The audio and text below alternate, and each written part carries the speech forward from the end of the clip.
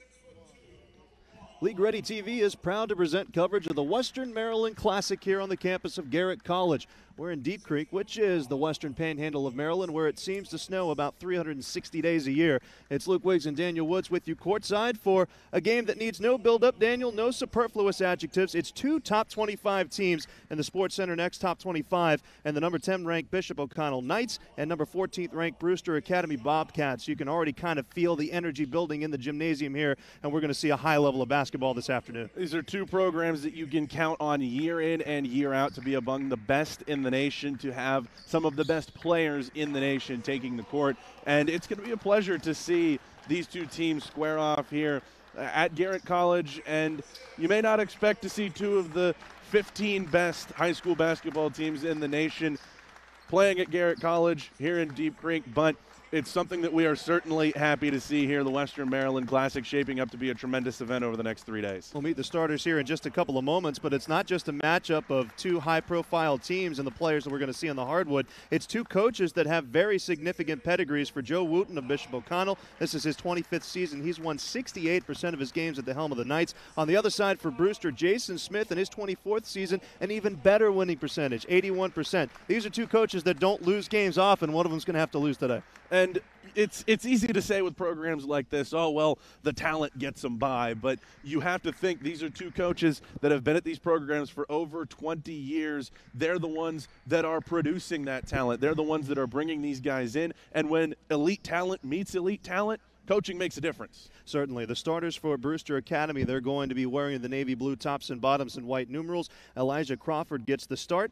He's the four star Stanford commit. He's wearing number one. He's going to be joined by Nojus Andrusaitis, uh, the Lithuanian native, along with Sebastian Wilkins wearing number 11 today. DJ Shine, who's committed to Murray State, he's wearing the number 12. And the big man in the middle is the man who signed a letter of intent to Purdue, Daniel Jacobsen, the six foot senior with a wingspan north of, I make it seven foot, forgive me, don't want to short him a foot there that wingspan north of seven feet tall, Daniel, he's going to be an impressive man in the middle. And he's somebody that's going to be difficult to deal with for this Bishop O'Connell lineup that at the five goes with Wyatt Norton, who at six eight, not undersized, but against seven foot two Daniel Jacobsen, it's a mismatch. The tip up, and to none surprise, it's one back by Jacobsen to Elijah Crawford, who brings the ball across the timeline. We're underway for this top 15 high school basketball matchup on the perimeter. This is Sebastian Wilkins. They work it around the perimeter again to Andrusaitis, the Lithuanian native. Now driving his shine.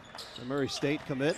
And the ball quickly knocked away, recovered by Brewster. Corner three is up and rattles in and out off the hands of Shine. And a rebound for Bishop O'Connell. The break the other way is stunted in transition by the Bobcats, and they win possession back. With the ball in the corner, this is Elijah Crawford, again a four star Stanford commit, putting the offense in motion. Now to Wilkins on the perimeter. Back up top to the big man, Jacobsen. An off ball screen to set up Shine. Fires again from three and misses the mark. Outlet pass down the floor. Quickly ahead to Tucker. He's able to finish through the contact for the first two points of the game. We didn't get the chance to introduce you to the Bishop O'Connell starters, but the man you're going to be most intrigued to watch today is Bryson Tucker. There is a finalist for the Naismith Trophy. He's a five star, the number 20 weight ranked player in this class. And Daniel, you saw why there. Impressive job from Tucker getting out in transition. They were looking to get him leaking out on that first possession, just a bad outlet pass, and then he finishes through the contact, not able to knock down the free throw, but it, it's abundantly clear quickly and really abundantly clear in warmups just how talented he is. The Brewster starters, as we mentioned, uh, Elijah Crawford, Nojus Andrusaitis. You see him now on the screen. Sebastian Wilkins, DJ Shine, and Daniel Jacobson. There's a miscue there on the ball on the rebound by Bishop, or rather, make it Brewster Academy. So it's Bishop O'Connell's ball. There's a right wing three set up by A.J. Swinton, no good. And a contested rebound leads to a foul. The starters for Bishop O'Connell, A.J. Swinton, you just heard there, the senior, six foot six. The number six recruit in the state of Virginia is a four star. He's going to play his collegiate ball at Florida State. He'll be joined by Tim Walker, the junior, Bryson Tucker, who's made his impact early on in this game, Wyatt Norton, and Aiden Colker. Possession now for Brewster Academy. Running the point, DJ Shine. Played at Augusta Christian School last year. Scored 1,000 points over his career with them, averaging over 20 a game last season. Andrusaitis rises for the mid-range jumper, and he got it to go. And that's the kind of shot maker you get with Andrusaitis, and the kind of guy that TJ Otzelberger is going to love to be getting at Iowa State. You've seen so many guys like that that can create their own shot, particularly in the mid range, go into that program, and Andrusaitis is no different. Here's Walker up top to Swinton. Waiting for something to develop away from the ball. Andrusaitis comes away with that entry pass. Runs the break the other way in transition. Will lay it off to Jacobsen. He spins and puts up the hook and gets it to go. And Jacobsen really, as we've seen in warm-ups and just there, is so much more than just a seven-footer. Tucker looking for a quick answer. Fishing baseline underneath the rim, nowhere to go. As they work it around the perimeter. Block shot. It's taken away by Crawford as he rejects Walker. Back the other way comes Brewster. Driving baseline, reverse layup up and in by Sebastian Wilkins. Now we're playing some end-to-end basketball. Pass into the front court. Norton answers quickly on the other end. Wyatt Norton, a little undersized in this matchup, like you mentioned, six foot eight, but he runs the floor well. And that's what you have to ask for, uh, particularly against a seven footer like Jacobsen. You want his matchup to get out, run the floor, beat the big man to the basket, and get an easy bucket just like that. Andrusaitis gives it into the corner. Shine again, can't find the mark from three. It's rebounded by Norton. Bryson Tucker, a six foot seven senior, instigates the offense for the Knights. If you're Brewster there. Three quarter court pressure now applied by Bishop O'Connell. Andrusaitis looking to get around it. Andrusaitis free throw line through the contact, elevates and scores. He's up to four points. Just such great touch from Andrusaitis in the mid-range. The second time we've seen him get to his spot, and it's just straight up and down. Great body control as he's able to knock it down. And again, just really clean release up at the top. Here's Ausari. Bishop O'Connell with it. And it's kicked out of bounds on a miscommunication there by Tucker and Swinton. Andrusaitis, like you mentioned, the Iowa State commit, and their coach Otzelberger talked about his versatility. Six foot four, can play and guard multiple positions on the floor, and as you saw there, can score through a tremendous amount of contact. This is Jeremiah Jenkins back to Andrusaitis, is able to force the circus shot up and through. He's up to six points. Brewster looking to extend their lead. They're up by six, just under 100 seconds left to play here in the first quarter. Here's Tucker, double team, passing up top to Asari. He fires from three, it's no good. Those are opportunities that Bishop O'Connell is going to have to take advantage of. So much focus put on Tucker. Here's Crawford running the floor, trying to go coast to coast, and came up empty with a long jumper. Rebounded by Harris. Jaden Harris, the senior, coming into the game. Ausari to the trailing Norton.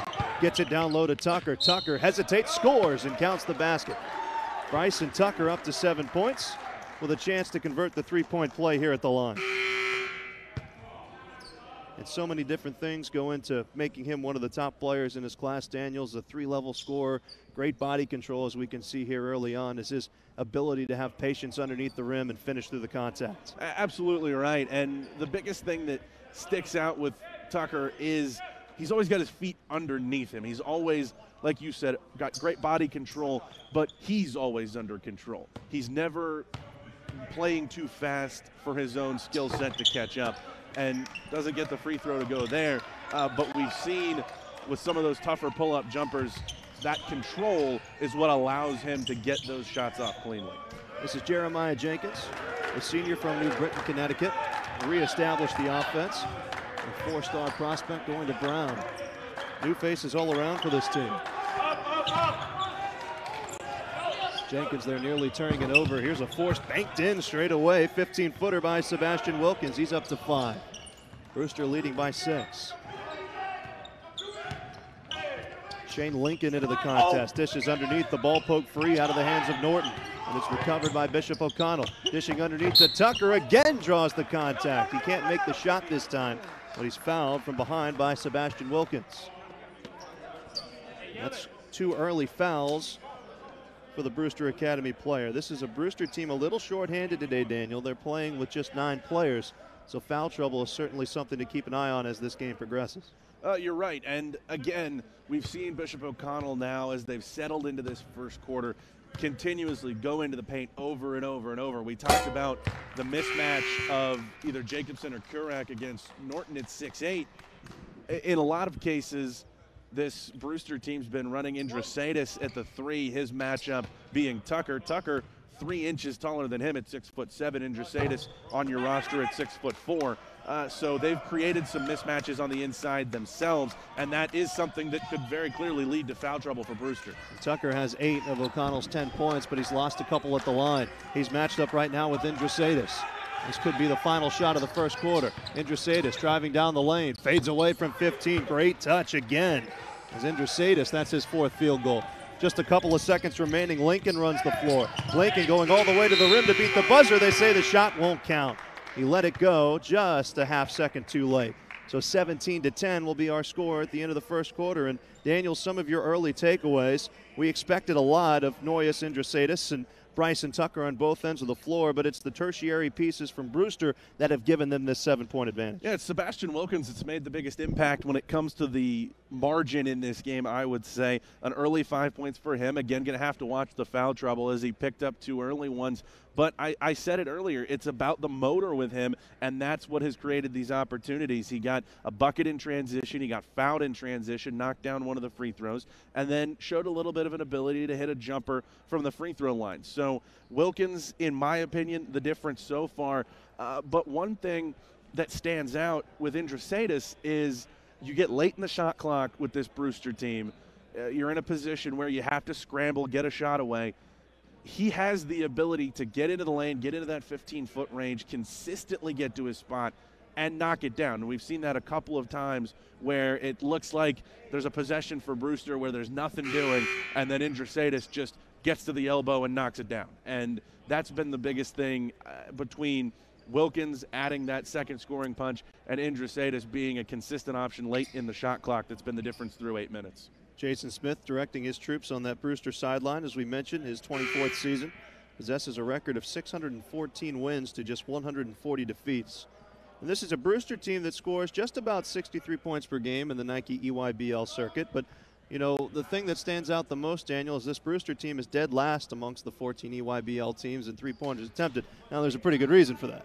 exactly. You go 7 2 and 6 11 uh, at the center position, and then you have a guy like Indrusaitis, who we saw in warmups has the ability to shoot the three ball at a high clip, but he thrives in the mid range. So your your best offensive options are not necessarily guys that are going to need a bunch of threes to put points on the board. It's Bishop O'Connell basketball to begin the second quarter. Nice find underneath, but the freshman can't finish. Sorry. That's Hahn to come up with the offensive rebound. Steve Hahn, who's checked into the game, but it's ripped away by Indrusaitis. He's got one man to beat. Instead, he'll slow it up in transition. Now he wants to elevate for the jumper and can't get it to go.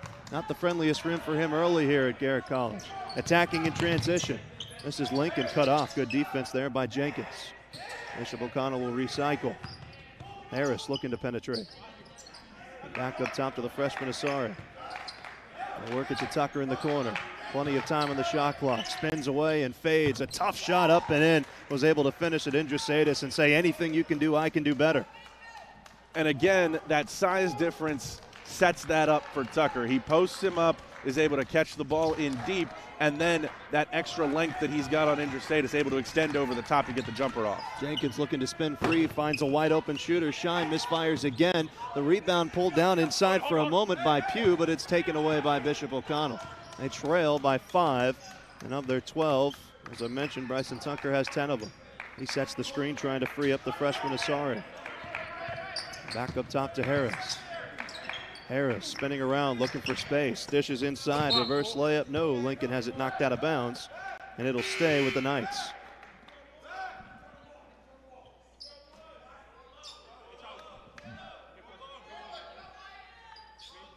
Harris just kind of running out of options there. As it was knocked out of bounds. Good defense at the rim by Kuroak. Inbound for Bishop O'Connell. Lincoln struggling to get it in. He launches it back to midcourt. A dangerous ball. That's picked up by Harris. And the defensive pressure from Elijah Crawford has been unrelenting anytime he's been on the floor for this Brewster team. Here's Lincoln to beat the buzzer. A tough shot, no good. Tucker a chance at the offensive rebound, can't come up with it. Now Elijah Crawford the other way. Crawford now looking to set up the offense. Kuroak comes to set the screen. He turned it over. Pass down the floor to Hahn. He lays it back off, and a wide open layup for Shane Lincoln, his first two points of the game. And good full floor awareness by Steve Hahn. That's cut it down to a one possession game. And you're right about the awareness there from Hahn. A lot of times you get the big guy out in transition. He wants to try to dunk it really no matter what stands in his way. But like you said, great awareness to see that he doesn't have the angle and just dish it off for an easy bucket. And he fouls Indrusaitis there. He's going to send him to the line. Indrusaitis, the number 85 overall prospect in his class.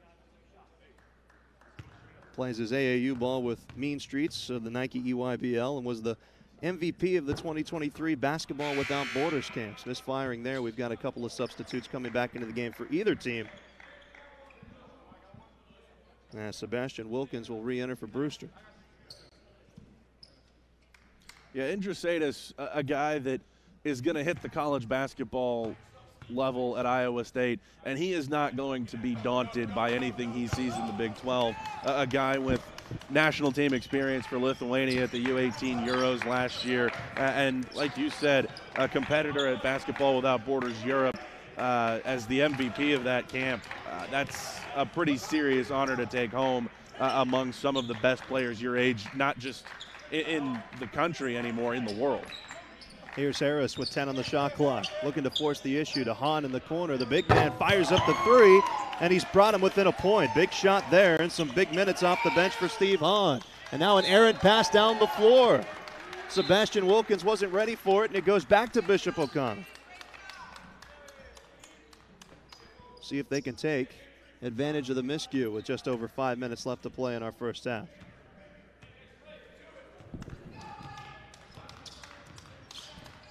Shane Lincoln with the ball, possesses an offer from Bryant. Into the high post now to Jaden Harris. Contested 18 footer, bottoms, and a lead for Bishop O'Connell. Taken a little bit of time for Bishop O'Connell to settle into things here in the first half, but now they're running better offense in the half court. That was the thing before. It was just kind of sticking. They were relying on Tucker to create shots, but now some consistency in the half court. Shot no good by Wilkins. The tip at the rim, neither by Crawford, but still it's Brewster that has the ball. Well, I spoke too soon. They turn it over. Here come the Knights of Bishop O'Connell. No look pass down the floor, laying it up and in is Shane Lincoln again and a three point lead for the Knights. And here comes that pressure.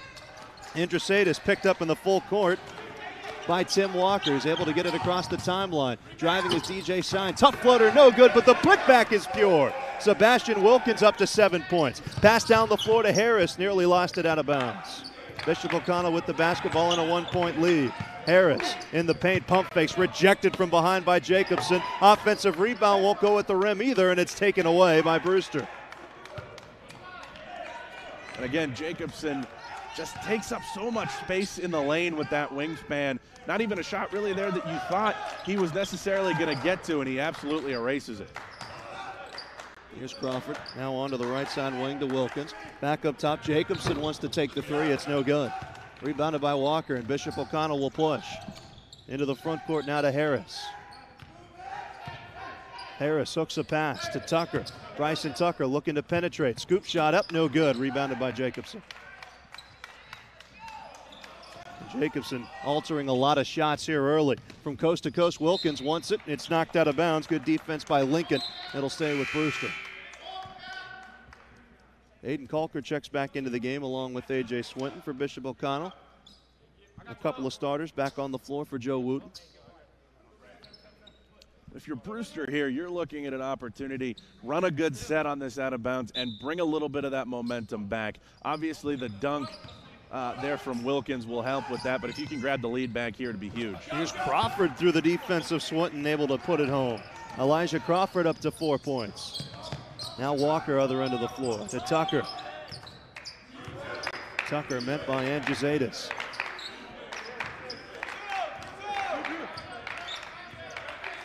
See if Tucker will isolate here. 12 seconds of the shot clock. Instead, he gives way to Walker. Walker off the Hahn screen, using up the dribble. Now to Calker, the entry pass to Hahn. Tough take. It's blocked away by Jacobsen and taken away by Brewster.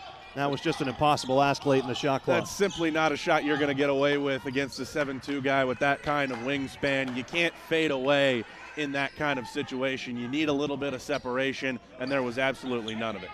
Here's Jacobsen up top. Sebastian Wilkins has it taken away by Walker. He throws it down the floor to Tucker, who slams it in with two hands. We'll see if that's some momentum for Bishop O'Connell, who regained the lead with just over two minutes to play here in the half. Crawford slowing up the offense now to Jacobsen. Jacobsen, an errant pass out of bounds. It goes back to the Knights of Bishop O'Connell. And that's back to back possessions that the ball pressure from A.J. Swinton causes problems for Sebastian Wilkins. First, he comes up with the deflection that leads to the steal, and then this time uh, he's able to force an errant pass. See the dunk there from Tucker again. The thing with him is Bryson Tucker, we talk all the time about the shot creation, the skill. You pair that with that level of athleticism you saw right there, and, and you can see why he's a top 20 player in the nation. But back to A.J. Swinton, those last couple of possessions, forcing the steal and then the turnover that kind of ball pressure, Leonard Hamilton's going to like that at Florida State, isn't he? Leonard Hamilton is going to be a big fan of that kind of ball pressure on the wing, I'm sure. And Swinton of Bishop O'Connell originally committed or committed to Virginia Tech before flipping over to Florida State, like you mentioned, that high level of defense that the Seminoles like to play.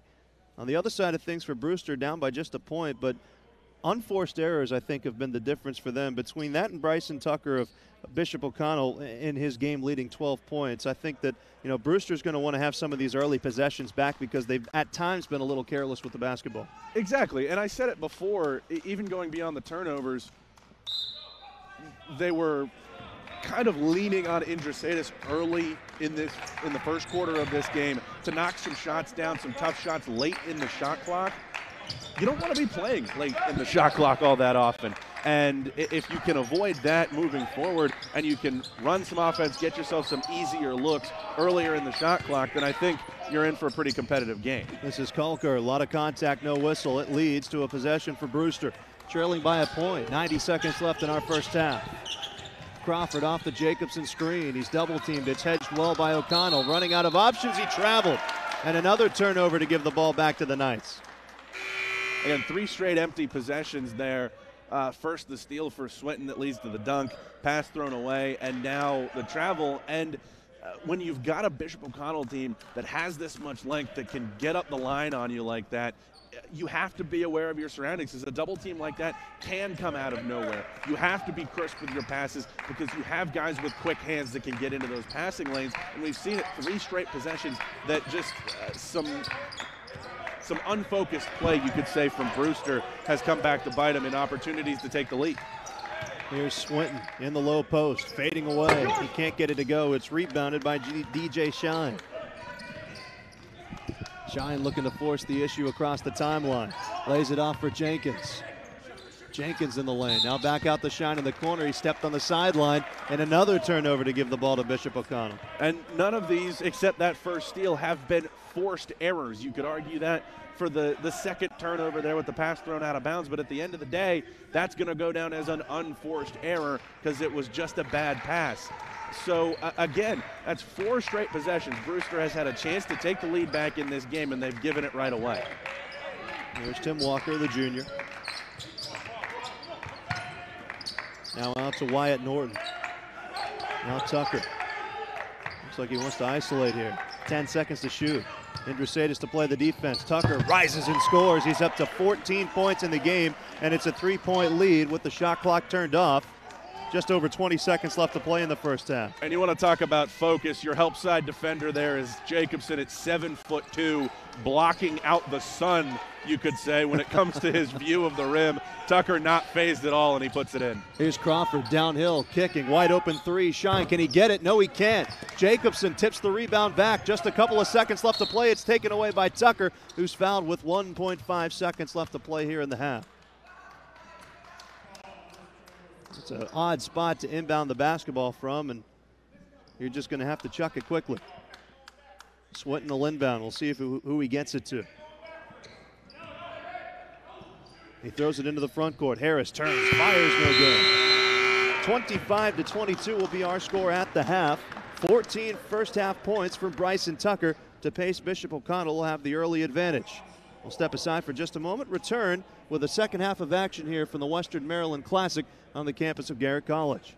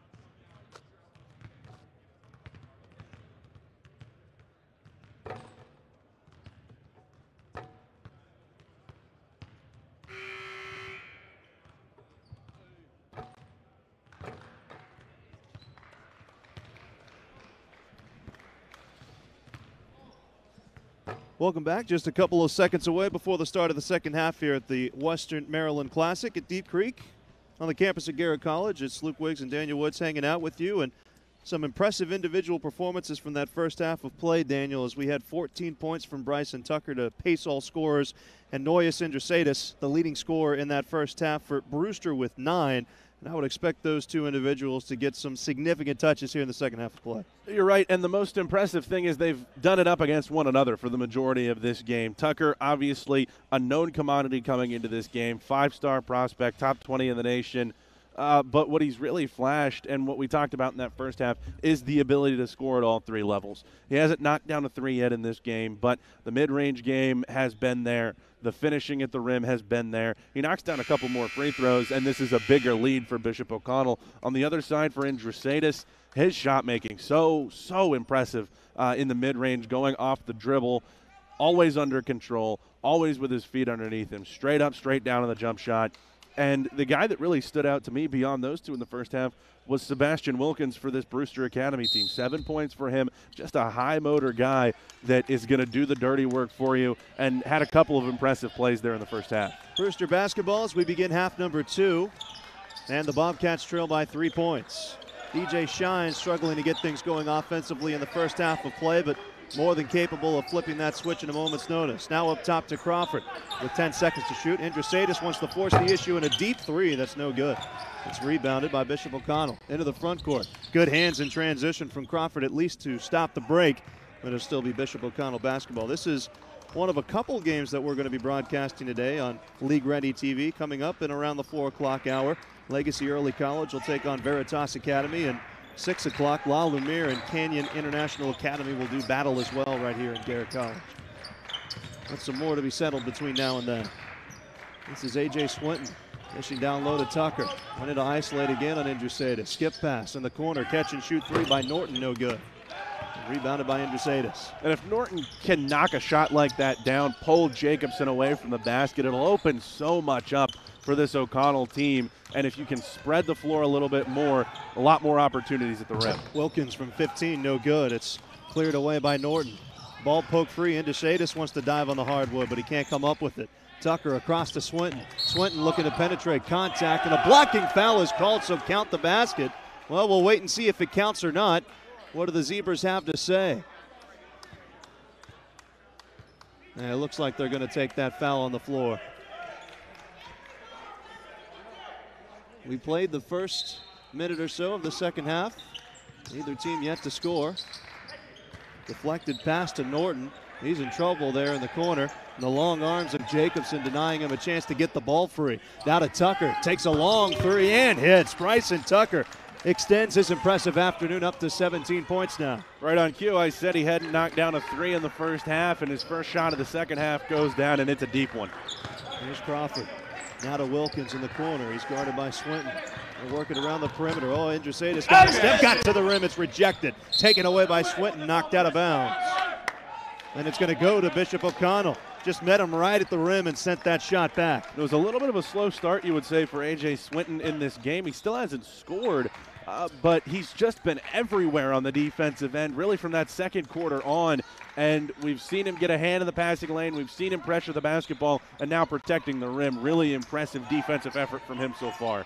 Swinton palming the basketball in that big right hand. Dishes underneath to Tucker. Will the double team come? He's matched up with the smaller DJ Shine. He fades away and Shine with great defense. The ball poked free in the lane and going hard to the deck is Aiden Kalker, who's fouled.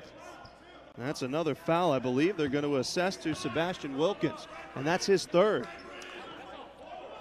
We talked about it before. Bishop O'Connell, after a rough first couple of minutes, were consistently getting the ball into the paint, drawing fouls on this Brewster team, and that's the third against Wilkins, something we'll have to keep an eye on as this one goes on. Walker looking to get it in. It's tipped out of bounds. Andrusatis again there. Johnny on the spot.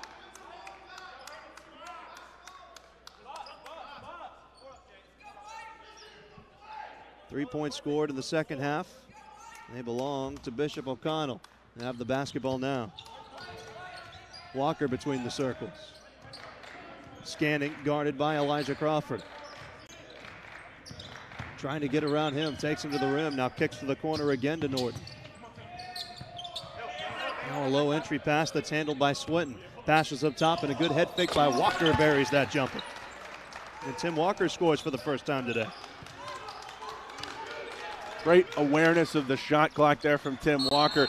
Knew he had the opportunity to create his own shot still with a little bit of time, and now another opportunity for O'Connell to extend this lead. And a backcourt violation there. Elijah Crawford tried to walk the tightrope, or tightrope, excuse me, and wasn't able to do so. Whistle and a timeout on the floor, and Brewster want to talk things over. They've come out of this second half locker room, Daniel Woods, a little bit flat and struggling to get things going in the half court. Uh, we saw that in the first half at, at times as well, and the second half has started the same way for this Brewster team. The scoring is not very spread out. We talked about it earlier. They're without some guys today. Indra has done his job to carry the load, but they haven't scored in the second half. Elijah Crawford has hit a couple of tough shots. Wilkins has done his dirty work, but beyond that, outside of those three guys, you've got two points from Daniel Jacobsen, and that's it for this offense. So you've got to find an answer one way or another. See some of the work in the half court here by Bishop O'Connell and a great take there by Walker. That key head fake to give himself some space. But over in that Brewster sideline, Jason Smith, he mentioned he wins 81% of his games. He's coached 21 different players to go on and play at the NBA level Donovan Mitchell, Will Barton, TJ Warren. If anybody's going to be able to turn this around, get them playing the right brand of basketball, it's going to be Coach Smith. Uh, you would think that's absolutely right. And uh, he's going up, uh, like we talked about before the game started, going up against somebody with just as much experience and maybe not the same winning percentage, but just as much pedigree on the other side with, with Joe Wootten. So the argument could be made if anybody's going to coach his team to extending a lead in this situation, it may just be Joe Wootten. And he mentioned that Wootten name might draw some interest for some people. We'll talk a little bit more about Coach Wootten here in just a moment. Bishop O'Connell basketball. Tough take out of the high post by Swinton. Jumper no good. Indras clears the other way. He's got numbers. He throws the lob, the jam by Sebastian Wilkins. Runs the floor like a guard. He's up to nine points. Quick answer, other side of the floor, tumbling to the deck. We'll have some free throws incoming as Wyatt Norton was knocked to the deck. And that's exactly what you want your team to do when you give up a dunk like that. I mean, just tremendous job running the floor there by Wilkins and a great feed from Indras Uh, but that's exactly what you want if you're Joe Wootten to see your team do when you give up a dunk like that, a big momentum play like that. You want to get the ball out, you want to throw it up the floor. There's a good chance, uh, even a team like Brewster that throws down their fair share of dunks is going to be fired up and maybe a little distracted after a play like that. You want to get the ball up the floor, you want to get a shot away and try to get something back at the rim. Some half court pressure applied now after those free throws split at the line by Norton. Brewster trailing by seven. Indras what can he come up with? Dishes on the baseline to Jacobsen. Passes up top to Crawford. Left alone from three, and he got it to go. And that's the shot that the Bobcats needed. Now Walker the other way. The lead's been cut to four. In the lane, through the trees. Finishing is A.J. Swinton for his first two points of the game, and some tough ones at that. Now Crawford. Jacobsen looking to set the screen. Crawford looking to spend free. On the roll, the ball is poked away. It's poked away by Bishop O'Connell again. The Knights come up with a key turnover. Swinton in transition. Indras cuts him off. And back up top to Walker. fast pace, last couple of minutes have stagnated on this possession. Swinton, now Tucker. Swinton sets the screen. Tucker rejects it, drives in the lane, pump fakes, reverse layup up and no good. A little too much English on that shot taken away by Crawford. He runs the other way. Crawford with a spin in transition, puts it up with the left, no good. Follows his shot, kicks outside. Indras wide open for three. He can't get it to go. It's tipped out of bounds. It's going to stay with Brewster. Didn't get the finish there from Elijah Crawford, but seeing him come alive these last couple possessions have been good. He's put in a big effort on defense, creating some ball pressure for this team. Hit a couple tough shots there in the first half, but you get him going offensively, particularly get his quickness out in transition, his willingness to push the ball down the floor, uh, and that can really, I think at least, be what can push Brewster back into potentially tying this game or taking the lead. Wilkins to inbound. Remember, he's playing with three fouls for this Brewster team. Crawford getting away from his defender. Tough take in the lane and good defense applied, but the offensive rebound again is Wilkins to put it up and in. Back to a four point lead for Bishop O'Connell. A change of direction to transition. Shot rejected at the rim as Walker went to the rack, and Kerouac fouled him there. We're going to get a couple of free throws. Kerouac, another interesting story. The Cummings, Georgia native, has that letter of intent signed with Georgia Tech. Was just about six foot one when he was a freshman in high school, and nine inches later and a couple of collegiate offers later, he's going to be playing basketball at a pretty high level with that pretty high height. And it's a signee for Damon Stoudemire at Georgia Tech and Cole Kerouac that kind of falls into what he's talked about lately about trying to do to bring that Georgia Tech program back. Uh, it is a, a program that you know, has been to the Final Four uh, in the last 25 years, uh, but the end of the Josh Pastner era, not necessarily the best time at Georgia Tech. Damon Stoudemire has talked about bringing the talent level up, bringing the energy back to Georgia Tech basketball, and Kerouac, a guy that could help start that off. Nearly a steal in transition, instead a foul as Norton cut off Kerouac going to the rim. We saw some full court pressure applied by Bishop O'Connell after a couple of made Walker free throws. And now it's Kerouac to go to the line. Played at North Forsyth High School last season, averaged 14 points per game. As he goes to the line for two.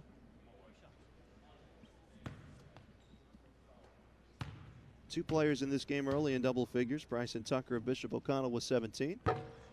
First missed free throw there by Kerouac. And Indrusaitis as well as, or rather make that Sebastian Wilkins has 11. Indrusaitis just below that mark. He's got nine. And Wilkins just continues to impress the longer this game goes on. And again, it's just he's the guy in there doing the dirty work for this Brewster team. And the last bucket coming off an offensive rebound where he just fought harder to get to the basketball more than anybody else, and his his job getting out and running in transition uh, has been a big part of that as well. Kerouac splits his free throws. Three minutes left to play here in the third quarter. Bishop O'Connell basketball leading by five. Walker has done well here in the third quarter running the offense. Now Jaden Harris. Walker gets it back off the screen. Eight seconds to shoot. Walker hesitates, steps to the free throw line, misses everything but the net. It goes out of bounds, and it goes to Brewster. Really, just nothing got started for O'Connell on that possession. You mentioned Walker doing a great job in this second half of running the show, uh, but just not able to get his team into much of anything there. Good defensive effort from Brewster to take away the entries into those sets. Jeremiah Jenkins in. Here's a corner three up and no good by Wilkins. Kerouac comes up with the offensive rebound, gives it out to Crawford, able to answer. And that's what seven foot can do for you. You get the offensive rebound and the kick out for a wide open triple, and it's a two point game. The freshman Amani Asari now to run the point.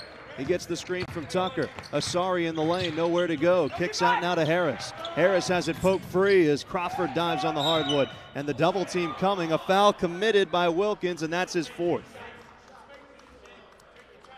And really, in this third quarter, Wilkins has been the most consistently productive player on the floor for Brewster, and he's going to have to come out now. And another issue that that presents is while we've talked about the size advantage that Brewster has at the center position with Kerouac and Jacobsen, positionally, O'Connell has had the size advantages really one through four for the majority of this game. And now Brewster going to be forced to play very small with Indrusaitis at six foot four being the second tallest player on the floor. Jaden Harris at the line, misses the first free throw. A 19 point performance against Oak Ridge, and that victory for Bishop O'Connell was 8 of 10 for the field. The three star is the ninth ranked player in the state of Virginia, drawing interest from Mississippi State, Missouri, NC State. Standing at six foot six, good size, and a chance to make it a three point game with a made free throw here. Unfortunately, he comes up short. It's rebounded by Elijah Crawford. Crawford's got 10 points in the contest now. Yo-yo's the basketball with that left hand. Gets around the defense, wants to take it to the rim. Now kicks out wide open. Jenkins three, no good. The rebound fought for. Indrusaitis comes up with it in the corner. Dishes underneath the Kerouac. He spins into contact. He's fouled on the floor. Foul underneath the basket. No free throws to come with it. It was on the floor. Bishop O'Connell subbing. Aiden Colker comes back into the game. Still Brewster basketball. Trailing by two. The entry pass deflected and thrown right into play to Crawford. Takes it to the rim and scores. We're tied up. And Crawford, I said it earlier, coming alive here in this third quarter, just using that pressure to create opportunities, using the motor, much like Sebastian Wilkins has in this game, to put himself in positions to put the ball in the basket. Here's nearly a turnover. Tucker has it in his hands. He's not had the ball very much these last few minutes. Shane Lincoln on the perimeter. He's trying to get it back to Tucker. Indrusaitis there to greet him. Eight seconds to shoot. Tucker in the lane. Kicks back out. Colker fires for three. It's no good. Tipped underneath the basket and taken away by Elijah Crawford. Ahead to Jenkins. Maybe got away with a travel. Indrusaitis driving the baseline. He's cut off. He has the ball knocked free. He's fouled. And that foul assessed to Shane Lincoln. There's some free throws incoming here. And good awareness, you know, when you're in no man's land and you're able to come away with, well, a foul there. The high IQ basketball that Nojus Indrusaitis plays.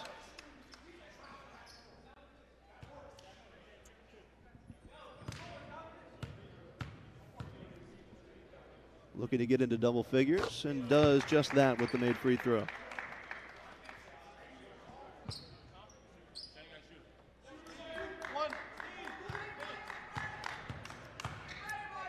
Just over a minute left to play here in the third quarter. And now a two-point lead for Brewster. This top 15 matchup between Bishop O'Connell and Brewster Academy. It's Knights basketball. This is Lincoln driving down the lane. Lincoln looking for help, finds it in Tucker. Indrusaitis there to greet him. Hahn coming to set that screen. Tucker looking for just a, an inch of separation. He thinks he found it, and he did. He buries another mid-range jumper.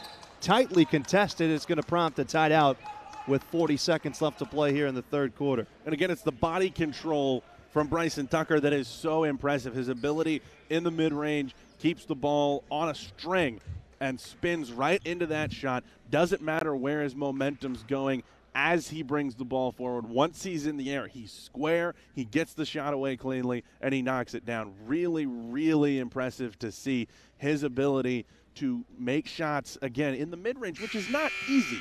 It's it's not easy to make those contested shots off the dribble, but at six foot seven, he has the length to extend over guys, and his release is clean. His release is high every single time, and that's a huge part of that success. He's got 19 of the 37 for Bishop O'Connell. I mentioned earlier the 19 point performance that Jaden Harris had against Oak Ridge. Tucker in that game went for 20, so more than capable of taking these games over. You mentioned the Brewster ability to deny him the ball early in the third quarter, but at some point when you're just so good, the basketball is going to find you. You're right, and I think part of their ability to deny him the basketball was they changed the matchup a little bit. Indrusaitis, a guy that's going to be able to stay in front of him off the dribble more often than not, uh, was his matchup in the first half. More in the second half, Brewster has gone to the bigger, longer option with Sebastian Wilkins guarding Tucker, but he started to get those touches right back as soon as Sebastian Wilkins went to the bench with that fourth foul. 40 seconds left to play in the third quarter. Full court pressure applied by Bishop O'Connell. Crawford working against the defense of Shane Lincoln. Gets a screen. Now passing to the left side wing to Jenkins. Skip pass all the way in the corner to Shine's able to come up with it like a wide receiver. Shine forces up the issue. Mid range jumper no good as the lid remains on the rim for DJ Shine. Here's Shane Lincoln driving coast to coast. A lot of contact. Shot up. Count the basket. Great take by Lincoln up to six points. And the body control to get that floater in transition and draw the contact. Again, Lincoln really moving full speed down the lane, gets the contact from behind, has Indrusaitis in trying to take the charge. A great job to stop his momentum, get the shot away, not go crashing through the defender, and still finish through the contact of the defender coming in behind. Uh, it honestly, on the replay, looks like a pretty routine play, and it's the furthest thing from it. 10 seconds left to play in the third quarter. Crawford across the timeline. Double teamed immediately as Hahn puts two hands on him and he'll foul him. Six seconds left to play. It's Bishop O'Connell leading by three after that three point play by Shane Lincoln. A Couple of seconds to get a couple of dribbles away before the final shot here of the third quarter. Shine a inbound right in front of his own bench. He gets it in quickly to Indrusaitis. Five seconds left to play. Skip pass. Crawford to beat the buzzer. Gets the no. The bank shot rolls just around the rim and out. So Bishop O'Connell will maintain that three point lead as we head to the fourth and final quarter. As you look for adjustments by both teams, Daniel, that was a slow start to that quarter by Brewster. Were able to turn things up offensively. And you're without Sebastian Wilkins. You'd have to think for the first couple of minutes playing with those four fouls you have to wonder, besides Indrusaitis, who you know is going to be keyed on defensively, who the second option is going to be for Brewster as they look to come back in this contest. I think after what we saw in that quarter, it has to be Elijah Crawford getting things done offensively. He goes for eight points on that quarter, eight of his 12 points coming in that third quarter, knocks down a pair of three pointers and he's shown that his quickness can cause problems for these O'Connell defenders, particularly pushing the ball in transition, getting out ahead of everybody, and creating opportunities going to the rim. So if I'm Brewster. I'm getting the ball to Elijah Crawford. I'm letting him play with the ball in his hands, maybe moving Indrusaitis off the basketball a little bit, let him spot up, get some easy looks at the hoop, and then we can build more towards it, get Wilkins back in for the last few minutes, and get out running in transition with him and Crawford. This is a Brewster team that averages 63 points per game, so a nod to the Bishop O'Connell defense, Daniel, slowing things up ever so slightly in the half court. You'd have to say that Brewster's been a little out of rhythm after they were the team that got off to the hot start. They scored 17 of the first 27 points of this game, but after that, you'd have to make the argument that Bishop O'Connell has dictated the tempo. Uh, you would think so. And again, they've been able to push, they've been able to use the athleticism in the open floor. And Brewster, uh, for all that they've really done in this game. They have not scored a lot out of half court sets, uh, which you have to give credit to O'Connell with their length, getting up the line, forcing tough passes, forcing turnovers. We saw that stretch earlier in this game where it was four straight possessions that Brewster turned the basketball over, and O'Connell, obviously, with their defense, having a lot to do with that. Bryson Tucker touches the basketball first here in the fourth quarter. He's got 19 points to lead all scorers gives way to Shane Lincoln. Bishop O'Connell leading, but leading by just three. Entry pass to Tucker. What can he do with the basketball? Tucker scanning, fades away through the contact again. It's no good off the front of the rim. Rebounded by Brewster. Elijah Crawford, can he go coast to coast? He's turned away, gives it up top. Jenkins for the tie, can't get it to go. Rebounded by Tucker. Tucker, no look pass to the corner to Lincoln. Lincoln into the lane, spinning and looking, surveying, gives it back up top to Swinton. Swinton back to Lincoln now. Left wing on the entry pass now to Jaden Harris. Harris backing down his defender. A lot of strength here. Spins to the rim, and he's going to earn a couple of free throws on a foul that should be assessed to Elijah Crawford. And again, the size advantage being an opportunity here for O'Connell when they get into the half court. They've brought Wilkins back in, but they brought him back in at the five. Jacobsen and Kiroak both on the bench, which again forces Indrusaitis and Crawford in particular to guard up the lineup. And you've got the six-six Harris backing down the six-two Crawford, and it leads to a good opportunity at the rim that leads to the foul. This free throw from Harris. It remains a one possession game for the time being. Got another shot to change that. Not able to do so. Indrusaitis now ahead to Jeremiah Jenkins. The Brown commit. Uh, using up the dribble. Throw into the left side now to Wilkins. Back into the game with those four fouls. Here's a deep three pointer up and in. Elijah Crawford has tied the game. That's his third triple of the contest. And again, set it between the quarters. Crawford has been the guy that has got it done in this second half along with Wilkins. He's got to be the guy that they play through here in the fourth. Jaden Harris in the high post. Now back to Lincoln. Lincoln looking for the entry pass to Tucker as he posts up Crawford. Crawford holding his own. Tucker spins around and forces up a shot with the right, can't get it to go. Tipped up a couple of times and rebounded by Sebastian Wilkins. Down the floor to DJ Shine. Shine wants to pull it in transition, can't get it. The rebound fought for again. It's taken away by Bishop O'Connell. We're tied with six minutes left to play. Lincoln nearly lost it, did lose it. He turned it over. It's taken away by Jenkins. Ahead to Crawford. He fires again. It's no good. Offensive rebound. Indrusaitis keeps the play alive. His shot is up and in from five feet away. The little turnaround. As Brewster regains the lead here in the fourth quarter. Expecting a frenetic finish to this contest. Tucker left wing, guarded by Wilkins. Remember, he's playing with four fouls. Now Norton in the corner on the entry pass. This is Harris spinning through the contact, got it to go.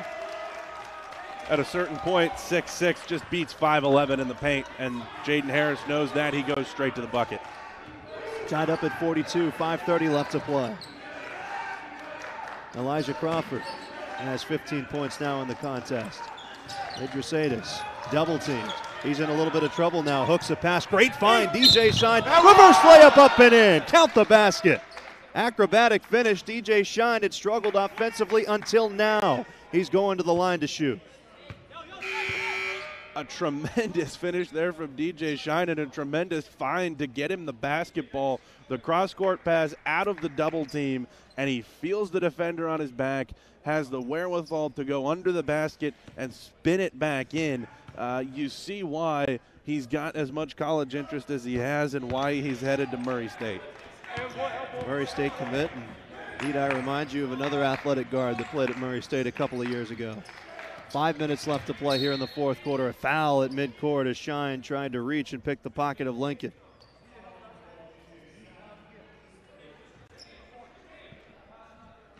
Again, this is a Brewster team that has not gone very deep into its bench, largely because it doesn't have a very deep bench. And now you've got Wilkins playing with four and three for DJ Shine in terms of fouls. Here's Walker. Turned away at the rim by Shine. Now guarded by Jenkins, looking for options. Swinton driving the baseline. Nearly lost it, fades away. He can't get it to go. Tipped underneath the basket. Tucker thought he had it for a moment. We've got a foul. He reached over the back of Shine, although it looks as though this foul is going to be against Brewster. And it's the fourth against DJ Shine. So they've played with this small lineup for the entire fourth quarter, but you're looking at two of the guys on the floor right now with four personals.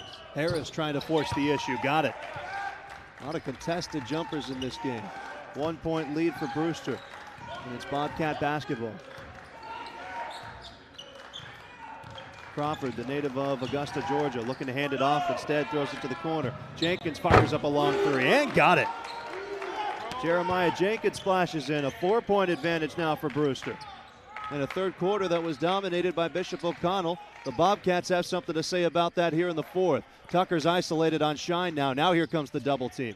He hooks it up top to Harris. Harris down low. Lincoln pump fakes once, twice, and is able to score. Wilkins playing with four fouls couldn't do much there, and that's going to prompt a timeout now by Bishop O'Connell. I've really been impressed with Shane Lincoln's ability to control himself in the lane, go through contact, finish at the rim. That's not an easy thing to do. And at six foot five, he has the length to do it, but he's not got a ton of bulk to him. He's but he takes that bump, is able to stay straight up and down, get the ball to the rim, and that's what stood out to me the most about him in this game. And he's been really one of the more impressive guys on the floor for me for this Bishop O'Connell team, uh, and really not one of the guys that has a ton of the Division One interest that a guy like a Bryson Tucker or an AJ Swinton or a Jaden Harris has. Lincoln, with that Bryant offer, has been really impressive to me with his ability to finish inside. Getting a look right into the huddle of Brewster here as Jason Smith goes to the grease pen to draw up this play as DJ Shine demolishes a bottle of Gatorade. and he's somebody else that's really turned it up here in the fourth quarter. Struggled with his shot early, has had some impactful plays offensively and defensively, as you would expect at this level. You know, a handful of guys at just a moment's notice can flip the switch. We've seen that from Jaden Harris here in the second half from Bishop O'Connell. And when you've got so much talent, you've got so many different guys that can take a game over. And that's really, I think, what you forget about when you've got this much talent on the floor. Just about everybody in this game is a Division One basketball player. so you may be a role player at Brewster Academy or Bishop O'Connell, but you drop one of these guys into Southern Garrett High School just down the street from us here in McHenry, Maryland, and they're going to be the best player on the floor. Uh, so uh, all of these guys have the ability to take that step and right away make something happen. Just a stray caught there by Southern Garrett. Oh, come on. They'll be competing here later in the Western Maryland Classic. They'll get their chance. It's Brewster up by two and with possession of the basketball under four minutes left to play here in the fourth. Here's a three again up by Crawford. Can't get this one. It's rebounded by Tucker. Poked out of bounds by Luke Johnson. Haven't seen him much today. And an effort play off the bench maintains possession for Brewster. And Johnson just coming in behind Tucker and getting a hand in there looked like it was Asari that had the last touch on it. Uh, but you know, Luke Johnson haven't played at all in this game up until this point. Get out there and make something happen right away. Jenkins to trigger. Brewster with 20 on the shot clock. Looking to get it in, does so to Johnson. Johnson gives it out to Wilkins. Wilkins back to Johnson in the corner. Back to Wilkins underneath, has the mismatch, able to finish. Sebastian Wilkins still playing hard with those four fouls. He's up to 13. Amani Asari, the freshman running the point now for Bishop O'Connell, trailing by four points. Have seen their lead evaporate. Into the high post now to Swinton. Swinton is bothered again by Johnson, put the ball on the deck, nearly turned it over. We've got a volley for possession here in the first jump ball of the game. A Couple of zeros mixing it up there, Swinton and Johnson. Johnson's been on the floor for just a couple of seconds and has made a couple of high energy plays. And Joe Wootten is furious over on the sideline. And you can see why if you go back and watch that play. Johnson coming in from behind as Swinton dove on top of it, kind of came over his back as he dove down on top of that basketball, able to get into a position where he's not really in a fouling position, but you can understand why Joe Wootten would want to call there. Here's Jenkins to Johnson in the corner, drives, makes the extra pass up top to Crawford, thought about it. Now he looks to penetrate. All the way to the rim, he hangs and scores. Elijah Crawford with tremendous body control. It's a six point advantage. On the other end is Harris. Harris looking for the answer. The shot is up, and it should be goaltending against Elijah Crawford. It looks like that ball was on its way down, and the officials say it was. Still really impressive for Elijah Crawford at six foot two to just take that ball out of the air. But back to that last offensive possession for Brewster. Uh, we saw a slow start for Crawford. He had just four points in the first half, but now you see why he's got that four star pedigree, why he's going to Stanford. This is a guy that can go out there and can get you buckets, and he can do it in some really tough ways. Jenkins able to get the ball across the timeline and beat the full court man pressure. Jenkins now thinks he can go to the rim. Extra pass to the corner. Johnson wide open for three and he buries it. Big shot from the junior there. 55 48. Luke Johnson making a big impact in limited minutes so far here in the fourth. Here's Tucker looking for the answers. Spinning inside, passing up top to Asari. Asari now penetrating, and he's fouled on his way to the rim by Jeremiah Jenkins. Bishop O'Connell running out of time, trailing by seven points. And some free throws incoming now for the freshman Asari. He's named one of the top freshmen to watch by PrepHoops.com for this Alexandria, or make it Arlington, Virginia based program. A little too long there in the first free throw.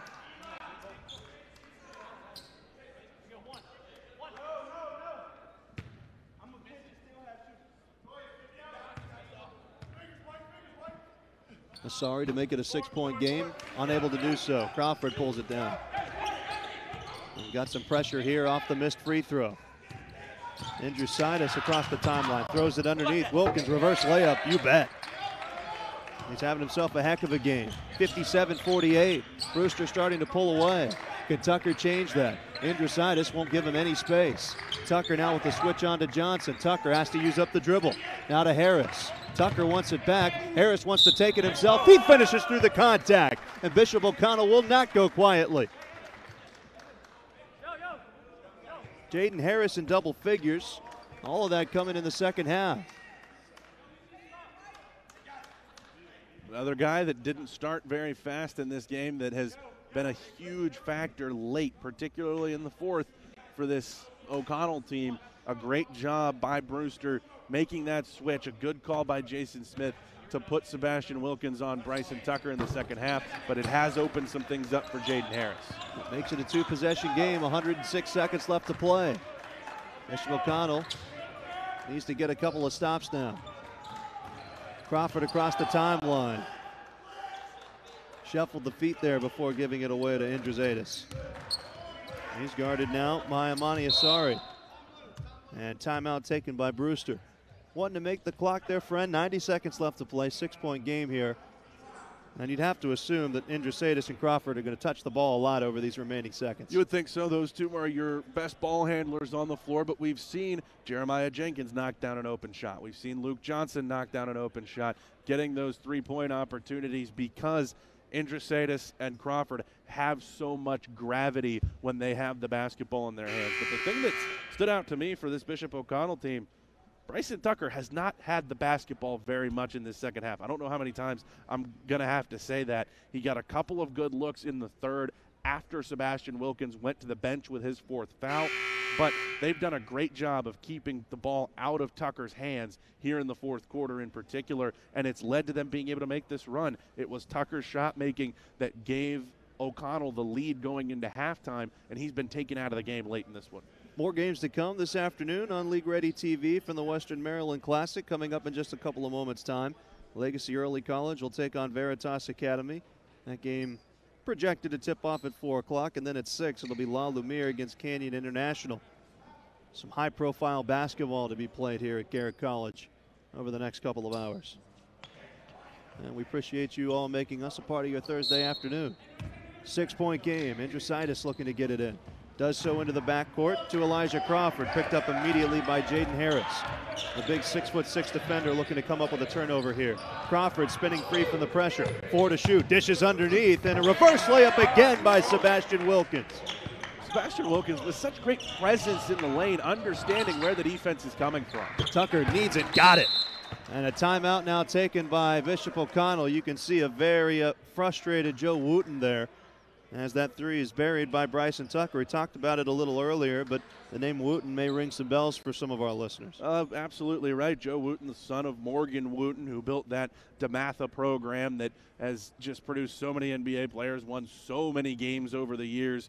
And his son has taken over this Bishop O'Connell program. I shouldn't say taken over, he's been there for 25 years, but he's built this program into a powerhouse that rivals what his father built at DeMatha. It's been tremendously impressive to see. In his 25th season, he's had just one losing season. That was back in 2012. The last game this Bishop O'Connell team played was against DeMatha. It was a victory, 59 to 54. A program that in Bishop O'Connell, I should say, that has sent 55 players that are currently playing or have played Division One college basketball. And one of them that's going to do so is Bryson Tucker, who just buried that last three. It's a five-point game, still not over. 68 seconds left to play. Bishop O'Connell had used that press for much of the game to speed things up when they wanted to, Daniel, but now they're going to ask for it to get them some turnovers. Yeah, you're right. And again, it's not necessarily to this point uh, been something that you're looking to get the basketball back with, but that's exactly what you have to do now. Indrusaitis gets it into Jenkins. Back to Indrusaitis to be guarded the length of the floor by Jaden Harris. Now back to Jeremiah Jenkins across the timeline. Bishop O'Connell content not to foul. 15 seconds on the shot clock. Jenkins off the screen and has a pass plucked out of the air by Bishop O'Connell. This is Walker racing ahead of the pack, gives it to Tucker. Tucker spinning baseline, now fades away. The tough shot is no good. The rebound underneath is ripped away by Harris. He puts up a shot up no good, but there's some free throws incoming. It was Calker that kept that rebound alive for Bishop O'Connell, going up behind Wilkins and able to really get enough of a hand on it uh, to allow Harris to then pull it away from Wilkins. So uh, the hustle play from Conker there is what sets up this opportunity. And now Harris doing what you want to be able to do in a situation like this, which is score points without any time coming off the clock. He's up to 12. And a very crucial free throw incoming. Harris got it. 59 56, here we go.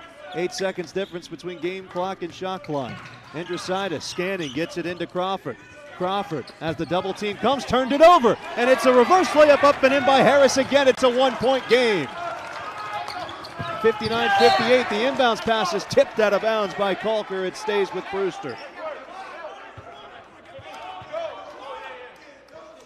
Clock stopped. 27 seconds left to play.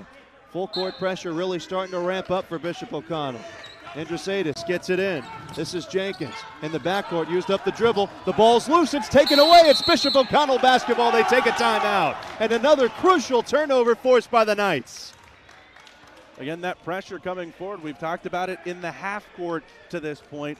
The length on the ball from this Bishop O'Connell team. They bring it out to the full court, and now back to back times, Harris and Walker able to make things happen on the defensive end, and it sets them up with a golden opportunity here. You're going to have, it looks like 20 seconds on the shot clock. They're going to reset it to 20, and then they're going to have an opportunity to uh, essentially force Brewster, if you can get a bucket here late in the shot clock, force Brewster to go the length of the floor with not much time left to, to try to win this game. If if O'Connell can get a good look here. So, two questions for you, Daniel Woods. How late in the shot clock do you take this shot? Do you give yourself some time for a potential offensive rebound?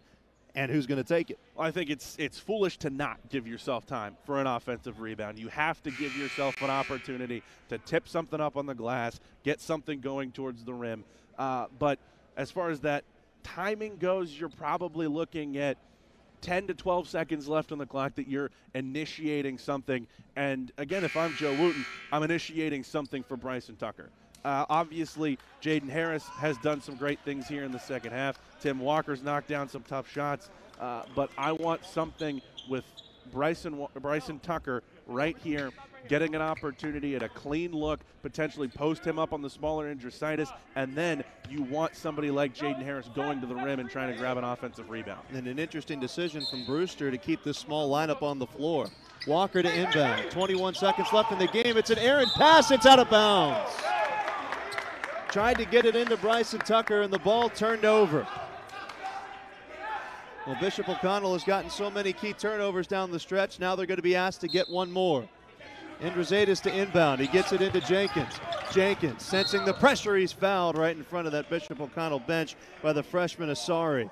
That entry pass, Tucker sitting down in his stance there, Daniel, was just a little bit past his fingertips and he just watched it trickle out of bounds. And the pressure from Indrusaitis is what does it. He's not able to separate. And now a key here, still two more fouls to give for O'Connell. And that's a dangerous pass. Indrusaitis gets it back.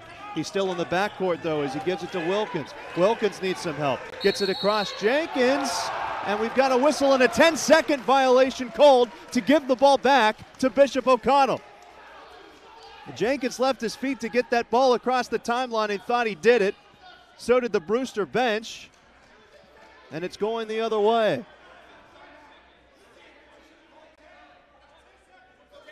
Now it looks as though they're going to put some time on the clock. I think the argument that Jason Smith is trying to make from Brewster is look at how much time's on the clock. That couldn't have been 10 seconds as the officials convene, and this is a crucial, crucial call in the game. Really struggling to get the ball across the timeline. And Jenkins was able to get the ball away, but not before the 10 second violation was called. And again, you look back at it, and there was 21.1 seconds on the clock right when that ball was inbounded. Well, excuse me, that was 21.1 seconds when the ball was inbounded on the previous foul. You were down to about 18 seconds when the ball was inbounded on the what would have been and that's that the, second opportunity. And that's the case that Jason Smith's trying to make. There's only 10.1 seconds on the clock, so that's that's the case that Jason Smith is trying to make. That 10 seconds have not come off the game clock, uh, but it looks like the call's going to stand up. And again, you get a second crack at it here if you're Bishop O'Connell. The ball, in my opinion, has to go to Bryson Tucker. You've got to set up opportunities for somebody else to potentially get a look, but that's where the basketball has to go. And interesting here, they move Indrusaitis back onto Tucker. 10 seconds left to play. They get it into Asari, the freshman. Five seconds left in the contest now. Asari wants to do it himself to the rim. The shot no good off the rim. Rebounded by Indrusaitis, and he's fouled. Man, Asari wanted a foul there. It's one he's not going to get. He left that shot on the front of the rim. 0.9 seconds a left. Great jump by Indrusaitis to completely keep Tucker out of the play. Denied him the basketball. He was not going to get a touch on that play if no- Nojus Indrusaitis had anything to say about it. And you can see the conversation. Joe Wootten coming off the bench. I think he wanted Asari to pass there. This has been a small lineup for Brewster for most of the fourth quarter. I think they'd be wise to put one of those trees back into the game to have the option to throw the ball down the length of the floor. You're up by a point, 0.9 seconds left. You just need to get the ball in. You'd have to say, though, if you're Bishop O'Connell, you're going to try to foul before the ball's even inbounded. Yeah, you would think that that's something you could look at here. Frankly, if I'm Joe Wootten, what I'm doing is when this huddle breaks, I'm picking a guy on my team to foul somebody, to foul who I think uh, it's not even a free throw shooting situation because they still have a foul to give. That's another factor here. I'm picking somebody on my team. It's like, okay, before the ball is inbounded, you're going to grab this guy, you're going to foul him, and then I'm going to the official that's closest to my bench, and I'm saying, before the ball is inbounded, player X is going to foul player Y. I would appreciate it if you would call that foul. Not every official is going to give that to you, but there are guys out there, there are a lot of officials out there that will give you that call. Now, is that what you do here? I don't know, but you can't have any time coming off this clock. Indrusaitis lobs it into the front court. The ball is tipped. Tucker from midcourt. The shot is no good. Brewster hangs on 59 to 58. The final score is a 22 point performance from Bryson Tucker. Comes up just short for Bishop O'Connell, and it's number 14 that beats number 10. Daniel Woods, your closing thoughts as the teams have yet to shake hands, but it's Brewster that gets the last laugh here. It is. And again, it's Brewster just gutting things out at the end. We saw them fall behind. We saw them start the hot team on the floor, but we saw them fall behind. And as it's come down to it, they're going to put, put half a second on the, on the clock. Here. We've got half a second left in this game, folks, so we're going to have to take that final graphic away. I think they gave Joe Wootten a timeout before Tucker oh hoisted that to the basket. Let's see if we can get an explanation here as the official's coming over.